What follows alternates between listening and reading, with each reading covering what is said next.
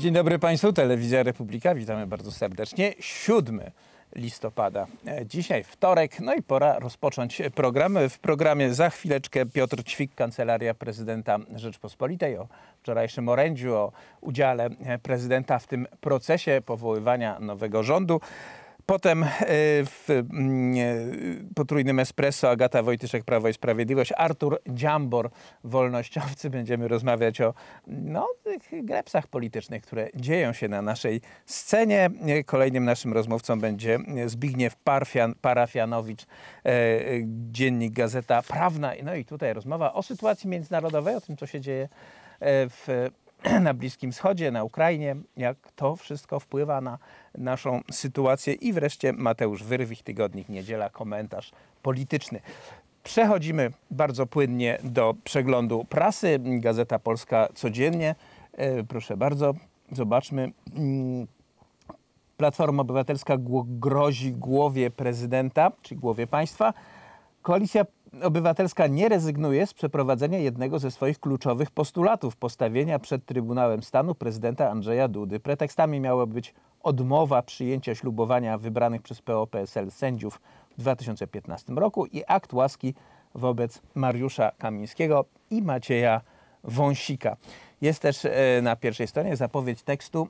Według naszych ustaleń już 24 listopada przed sądem stanie Małgorzata E.J., żona posła Koalicji Obywatelskiej Dariusza Jońskiego, która w procesie toczącym się od wielu lat usłyszała zarzuty przyjęcia korzyści majątkowych w zamian za umożliwienie wyłudzenia dopłat unijnych. Została zatrzymana przez funkcjonariuszy CBA w 2010 roku.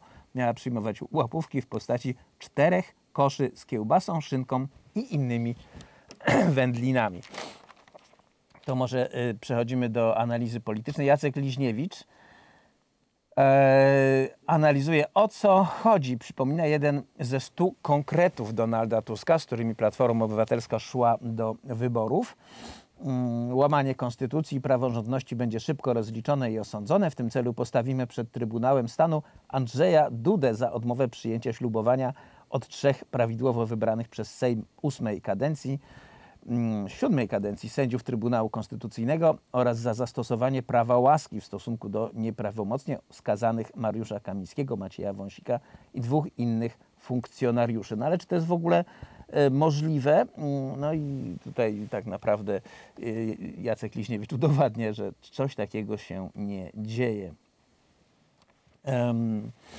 Dalej w dzienniku e, Gazecie Polskiej tekst o żonie posła Jońskiego, o y, rakietach, o samolotach FA-50, które dotarły do Polski. Kupiliśmy te y, samoloty w Korei, które mają one zastąpić sprzęt, który został przekazany na Ukrainę.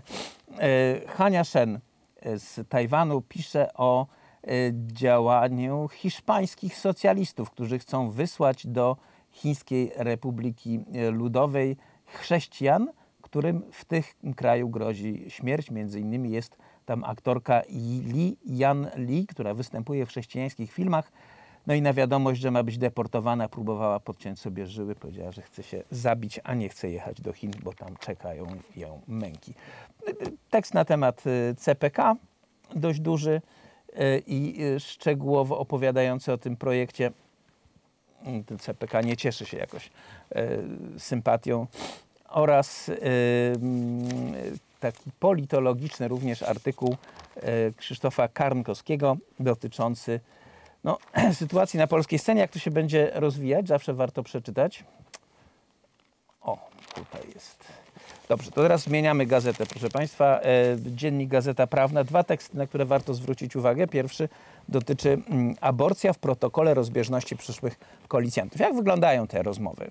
Podobno toczone są w wąskim kręgu i podobno powstały jakby dwa, dwie listy. Jedna to lista e, spraw, na które koalicjanci przyszli się zgadzają, a druga lista dotyczy spraw, na które się nie zgadzają. Wśród e, rzeczy, na które się zgadzają, co jest uzgodnione. Państwowe finansowanie in vitro, budowa żłobków, znieczulenie okołoporodowe, oddłużenie szpitali, ale także zgoda na to, by do kodeksu karnego dopisać zakaz mowy nienawiści na tle orientacji seksualnej i tożsamości płciowej. Są też podwyżki dla e, strefy budżetowej, uruchomienie środków z KPO czy przywrócenie publicznego charakteru mediom narodowym. Ciekawe, co, o, co, o co chodzi w tym akurat punkcie. A także naprawa wymiaru sprawiedliwości. Teraz co się znalazło w protokole rozbieżności? Aborcja oraz kwestia wysokości finansowania zdrowia, depenalizacja pomocy przy terminacji ciąży. Przeciwny był temu PSL. Nie wpisano też pomysłu referendum w sprawie aborcji. Brakuje też zmian w definicji gwałtu czy wprowadzenia natychmiastowych alimentów. Z tymi hasłami Lewica walczyła w kampanii, a PSL się nie zgadza. No i rozliczenie PiS. Nie ma tu podziału na obszary czy ministerstwa, jest za to wskazany kierunek działań. Na pierwszy ogień ma pójść rozliczenie PiS za nepotyzm, czyli przez niedzielanie stanowisk do instytucji publicznych, na przykład spółki Skarbu Państwa, nie ze względu na wiedzę i zdolności merytoryczne, ale na znajomości no ciekawe. O personaliach i o tym, kto obejmie jakie ministerstwo, mają rozmawiać przywódcy partii w tak zwanym zespole liderów. I teraz druga sprawa. Na granicy y, jest protest, protest kierowców samochodów i firm komunikacyjnych. Dość dokładnie y, jest to rozpisane również w tekście po zborze zbożowym konflikt o tiry. Polscy przewodnicy, polscy przewoźnicy rozpoczęli wczoraj blokadę przejść z Ukrainą w Dorochusku, Hrebennem i Korczowej. Domagają się cofnięcia przywilejów dla ukraińskich kierowców wprowadzonych przez Unię Europejską po rosyjskim ataku z 24 lutego 2022 roku. I teraz o co tutaj chodzi?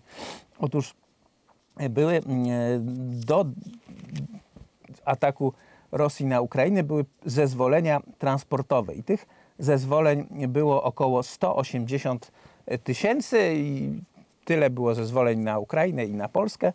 Natomiast po zniesieniu tych ograniczeń ukraińskie ciężarówki przekroczyły polsko-ukraińską granicę 880 tysięcy razy, a Rafał Mekler, współorganizator protestów i lider Konfederacji w Lubelskim, mówi, że tych przejazdów było około miliona.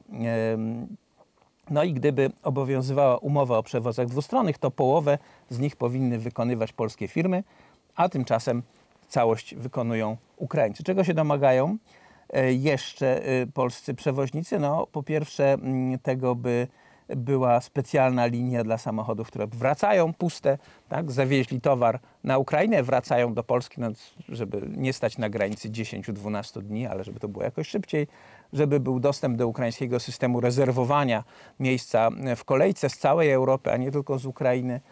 No i by właśnie to system szlak albo szlach, za którego pośrednictwem kierowcy w Ukrainie mogą wjechać. No i jeszcze jest kwestia e, organizacji ruchu. No, zobaczymy jak to będzie. Dialog jest w trudnym momencie, bo no, rząd jest taki nie wiadomo, jak to będzie rozwiązane. Warto zwrócić na postawę Ukrainy, która znacznie łagodniej reaguje na to, niż y, mamy przecież przykłady gwałtownych reakcji z wiosny tego roku, które odbyły się bardzo poważnymi konsekwencjami politycznymi, przynajmniej jeśli chodzi o sprawy zbożowe.